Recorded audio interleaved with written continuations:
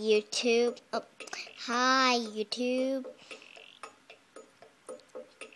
I think the way of catching a walking leaf is that